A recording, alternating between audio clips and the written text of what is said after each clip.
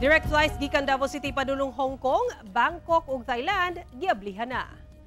Mo kini ang gipahibalo sa Department of Tourism Region 11 nga doon na nay direct flights gikan Davao City padulong Hong Kong, Bangkok, Thailand ug vice versa.